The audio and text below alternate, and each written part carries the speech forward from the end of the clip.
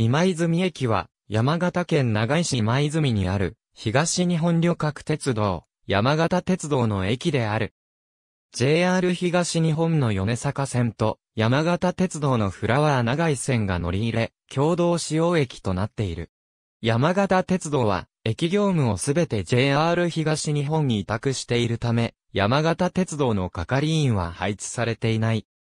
共同使用駅として、改札と構内を共用していながら、入場券は、緑の窓口では、JR 東日本が、自動券売機では、山形鉄道がそれぞれ発行しているため、JR 東日本発行分は150円で2時間以内の時間制限があり、山形鉄道発行分は140円で時間制限がないという効力の異なるものになる。フラワー長井線は、もともとは長井線として、米坂線ともども日本国有鉄道の路線となっていたため、当駅は国鉄の単独駅であった。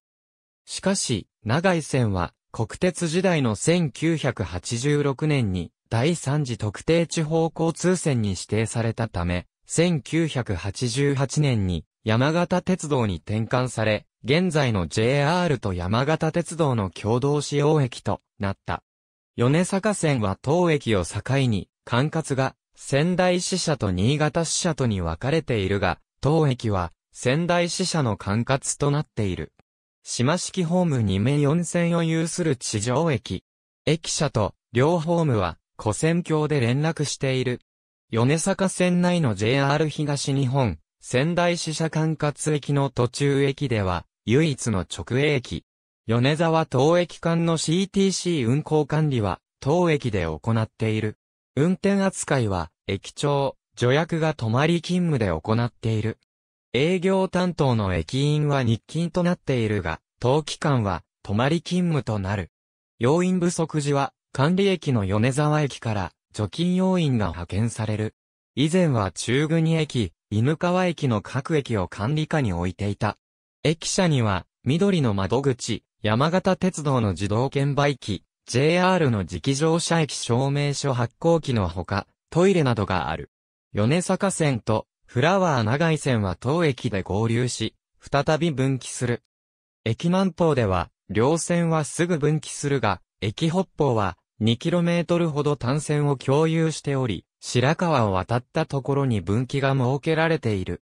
分岐点はかつて、白川信号場と称していたが、1984年に、当駅構内に編入され、分岐点までが当駅の構内である。そのため、当駅を発着するフラワー長井線の出発現時、分岐点のポイント転換などの信号扱いは、その都度、荒都市令と打ち合わせの上で当駅で行う。なお、JR と山形鉄道の相互間で、レールが直接接続しているのは当駅のみであり、JR の検測者が山形鉄道を測定する場合は当駅の米坂線、ホームを経て入線する。2000年度以降の推移は以下の通りである。なお、この統計には乗り換え客を含む JR 東日本山形鉄道今泉駅が登場する文学作品。ありがとうございます。